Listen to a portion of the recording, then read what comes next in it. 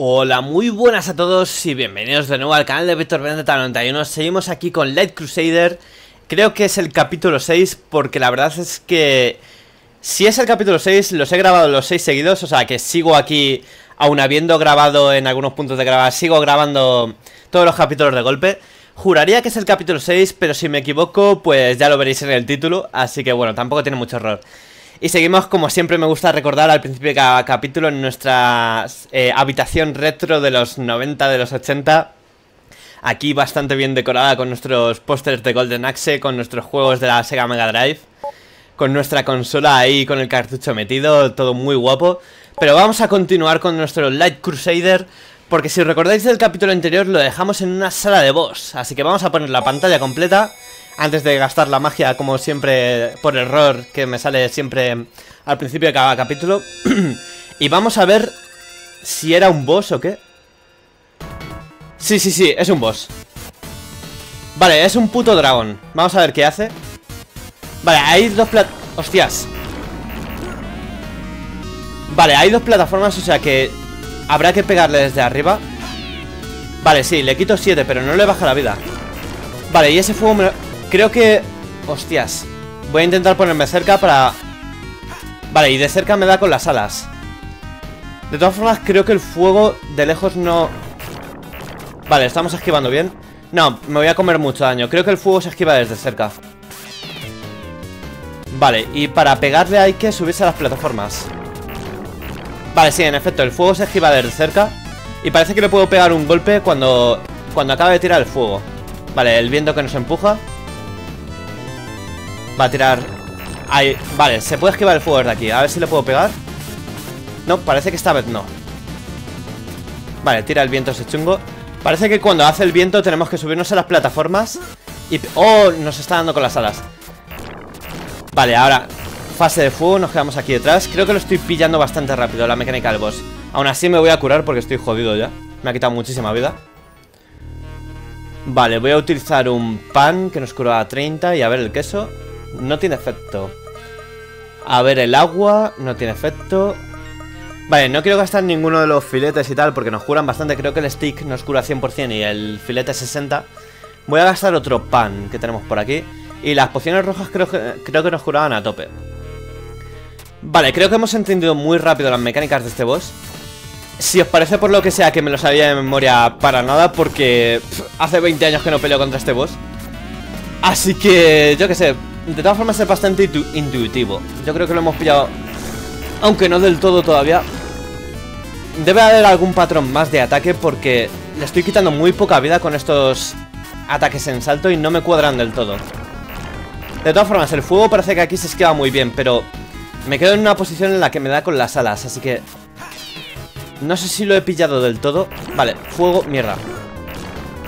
Y nos quita muchísima vida con este fuego Voy a, voy a curarme otra vez porque estoy ya bastante jodido. Vale, voy a utilizar un filete que nos cura 60. Estamos, en estos combates estamos tirando mucho de... Vale, para, para evitar el aire tenemos que subirnos a las plataformas. Y como decía, estamos tirando mucho de... De ítems de curación en estos bosses porque... ¿Será que soy malo o algo? Vale, va a tirar fuego cuando para hacer los movimientos con las alas es que va a tirar fuego Y ahí le podemos aprovechar para pegarle. Parece que ya sí que le está bajando la vida. Le hemos quitado 5 puntos Va a tirar fuego, así Ah, bien. Parece que hemos pillado todas las mecánicas No sé si tendrá alguna especie de fase 2 o algo así. Pero de momento Le estaban bajando los circulitos Así que va a tirar fuego. Vale, vale, este boss parece mm, a priori menos complicado que el primero al que nos enfrentamos Espero que no tenga ningún tipo de fase 2 o algo así. Vale, me ha quitado con las alas 16 Y ahora me como el fuego, me ha quitado 30 de golpe. Vale, le hemos dado dos hostias. Le tenemos a mitad de la vida. Si va a entrar en fase 2, este es el momento. Que yo también estoy hablando como si esto fuera Dark Que estos, estos bichos no tienen por qué tener fases. Pero mm, no puede ser tan fácil este boss. Tan fácil entre comillas porque mete de la hostia el cabrón. Vale, me estoy comiendo el fuego Voy a tirar magias a ver si... Vale, oh, perfecto, las magias le afectan aunque esté haciendo lo, de las alas Esa era la, mecánica que teníamos que, que, comprender Le teníamos que meter con, con las magias Voy a comerme este pescado, a ver cuánto cura. Cura 60, perfecto. Y parece que la magia de viento le estaba afectando bastante, así que le voy a tirar magias de viento. Vale, le podemos pegar muchísimo con estas magias de viento. Le quitan muchísimo. Vale, solo le queda un golpe, nos hemos quedado sin magia de viento. Y... Hostia, eso sí que es fase 2, ¿eh? Ese, ese movimiento es nuevo, no lo hacía antes. Vamos a ver si lo puedo matar porque está haciendo movimientos nuevos y... Bien, perfecto. Con el último ataque en salto, ahí hace su movimiento, su pose de flipado. Y nos hemos cargado a este segundo boss sin demasiado problema. Vamos a continuar avanzando, nos hemos jurado toda la puta vida. Vale, y aquí tenemos... Tenemos una especie de aldeano colgando una cuerda. Este es el tercer aldeano que rescatamos. Vamos a mirar esto, Maximum Life. Ok, vale. Vale, pues parece que tendremos que subir hasta... Vale, sí, llegamos de un salto. Y aquí supongo que cortarlo de un espadazo. Vale, perfecto. Dice, fui secuestrado por hombres de negro y antes de que me diera cuenta, me encontraba aquí en este shrine, creo que significa santuario, en este santuario. Esos tíos eh, eran de la hermandad de magos. Vale, eh, ¿recordáis la información que nos dieron los otros dos aldeanos secuestrados? Nos dijeron hombres de negro, que este tío lo repite. Y ahora nos dicen, bueno, y que estaba lleno de demonios y demás, ya nos hemos enfrentado a dos, a un dragón y a una especie de bicho con ojos y tentáculos.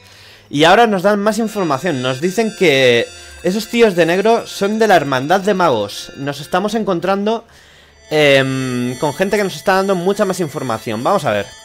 Dice, ¿has visto esa barrera? Creo que se refiere a la que no podíamos pasar, que estaba sellada, que estaba custodiada precisamente por, por unos magos que hemos pasado de ellos. Dice, tiene que haber mucha más gente eh, detrás de ella. Eh, que ha sido secuestrada. O sea, que fue secuestrada, más bien. El King, eh, o sea, o el King, joder. El rey em, debe saber cómo atravesar la barrera.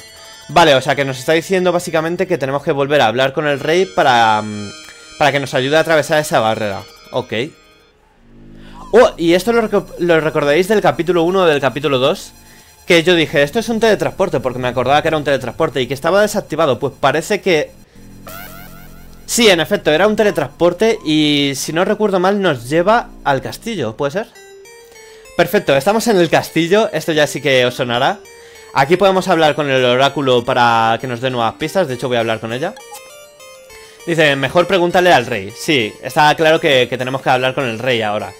Así que vamos a hablar con el rey para ver cómo, cómo atravesamos ese sello. Luego volveremos a, al teletransporte. Iremos hacia atrás e intentaremos eh, pasar por el sello ese que tenían los magos. Vamos a hablar con el rey. Dice, ¿te refieres a, a la Guildsman? Eh, Guildsmen es la hermandad de hombres. Traducido muy literalmente, pero bueno.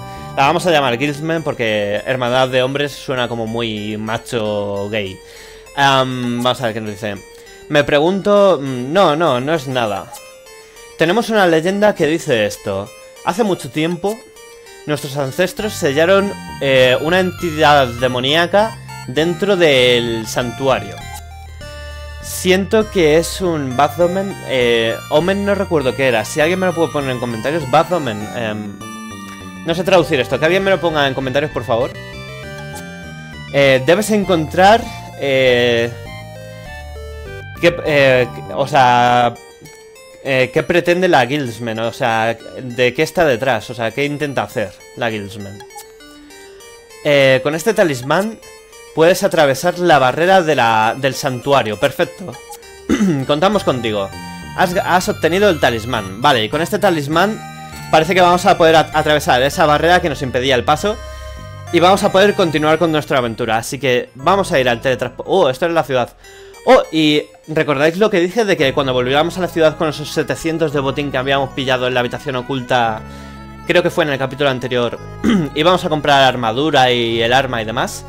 Pues esto lo vamos a hacer en el siguiente capítulo porque este capítulo llega a su fin y como siempre sé que me alargo mucho en las despedidas, así que lo voy a hacer cortito.